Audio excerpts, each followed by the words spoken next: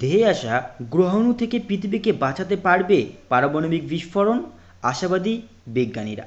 বিস্তারিত জানতে ভিডিওটা স্কিপ না করে শুরু থেকে শেষ পর্যন্ত দেখুন। বড়সড় মাপের একটি গ্রহণ ধেয়ে যাচ্ছে পৃথিবীর দিকে।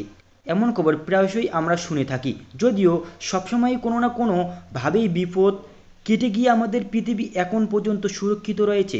তবে ইদানিংকালে পৃথিবীর দিকে ধেয়ে যাচ্ছে গ্রহাণুর সংখ্যা যেন বাড়ছে আর ফলস্বরূপ একটা চিন্তা কেটে গেলে আমাদের মনে তার একটা চিন্তার উদ্রেক হচ্ছে।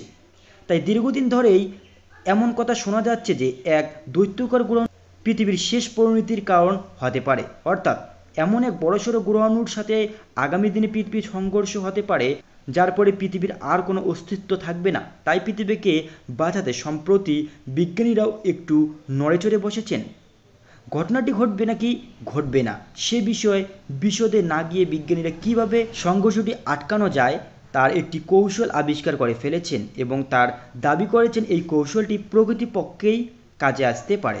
পৃথিবীর সাথে সংঘর্ষের জন্য এগিয়ে এসে গ্রহণটিকে তার মূল গতিপথ থেকে বিচ্যুত করতে পারে। অর্থাৎ গ্রহণটি যখন পৃথিবীর দিকে এগিয়ে আসবে, তখন তার গতিপথে একটি পারমাণবিক বিস্ফোরণ ঘটিয়ে গ্রহণুর গতিপথ পরিবর্তন করে দেওয়া হবে এবং এভাবেই পৃথিবীর সঙ্গে সেটির সংঘর্ষ আটকানো সম্ভব। কিন্তু কোনোভাবে যদি এই ভাবনাটা ফলস্বরূপ না হয়, অর্থাৎ পারমাণবিক বিস্ফোরণ ঘটিয়েও যদি দেখা যায় যে গ্রহণটির গতিপথ পরিবর্তন করা গেল না, তখন কি হবে? না চিন্তার কোনো কারণ নেই। সেক্ষেত্রে বিজ্ঞানীরা আরও একটি উপায় ভেবে ফেলেছেন। তারা এমন একটি পর্যাপ্ত শক্তিসম্পন্ন পারমাণবিক ডিভাইস তৈরি করার কথা চিন্তা করেছেন যা পৃথিবীর দিকে এগিয়ে আসা গ্রহণটিকে ক্ষুদ্র ক্ষুদ্র টুকরায় ভেঙে ফেলতে পারে। ফলে সেক্ষেত্রে আর বড়সড় সংঘর্ষের কোনো সম্ভাবনাই থাকবে না।